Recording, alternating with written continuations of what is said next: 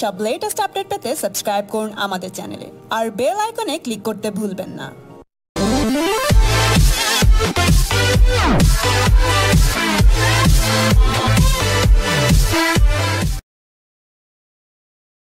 প্রধানমন্ত্রী শেখ হাসিনার ছত্রিশতম স্বদেশ প্রত্যাবর্তন দিবসে শুভেচ্ছা জানাতে সকাল থেকে গণভবনে ছিল নেতাকর্মীদের ভিড়।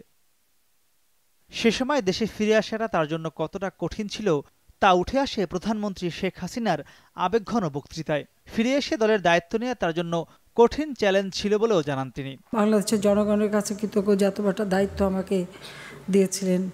আর সেই দিন আমাকে আওয়ামী লীগের প্রেসিডেন্ট করেছিলেন বলেই কিন্তু তখন যে মানুষের ঢল নেমেছিল তখন আর আমাকে জিয়াউর রহমান বাধা দিয়ে রাখতে পারেনি। আমি ফেরত আসতে পেরেছিলাম, নইলে তো আসতে দিত না। বারবার অনেক বাধা ছিল যেন আমরা দেশে না আসতে পারি। এবং দেশে আসার পরে আমাকে তো বত্রিশ নম্বরে ঢুকতে দেয়নি, এমনকি মিলারটাও পড়তে দেয়নি, সিলগালা করা ছিল।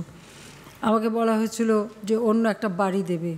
আমরা যে কোনো বাড়ির লোভে আমি আসিনি। লক্ষ্য করছেন আজকের বৃত্তিপ্রাপ্ত পরে প্রধানমন্ত্রীর কার্যালয়ে বিভিন্ন ক্ষুদ্র নৃগোষ্ঠীর তিনশো পঞ্চাশ জন মেধাবী ছাত্রছাত্রীদের মাঝে শিক্ষাবৃত্তি প্রদান করেন শেখ হাসিনা। এ সময় তিনি বলেন তৎকালীন জেনারেল জিয়ার বাধা উপেক্ষা করে ছয় বছর পর দারিদ্র্যমুক্ত বাংলাদেশ গড়ার লক্ষ্যেই তিনি দেশে ফিরে এসেছিলেন। ছয় বছর আমার দেশে আসতে পারিনি আজকে এই দিনে ফিরে এসেছিলাম।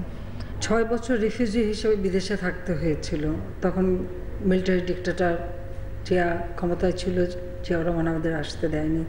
কিন্তু আওয়ামী লীগ আমাকে যখন সভাপতি নির্বাচিত করে তখন আমি ফিরে আসি।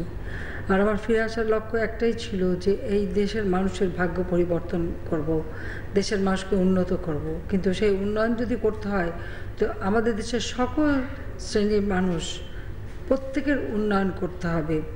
শুধুমাত্র একটা ক্ষুদ্র গোষ্ঠীর সৃষ্টি করে না। আমরা দারিদ্র্যমুক্ত বাংলাদেশ করতে পারব, তখনই যখন আবার সমগ্র জনগোষ্ঠী সুশিক্ষিত হবে। দুই হাজার আঠারো সালে ক্ষুদ্র নৃগোষ্ঠীর শিক্ষার্থীদের হাতে তাদের নিজস্ব মাতৃভাষায় লেখা বই তুলে দেওয়া হবে বলেও জানান প্রধানমন্ত্রী শেখ হাসিনা। সব লেটেস্ট আপডেট পেতে সাবস্ক্রাইব করুন আমাদের চ্যানেলে আর বেল আইকনে ক্লিক করতে ভুলবেন না।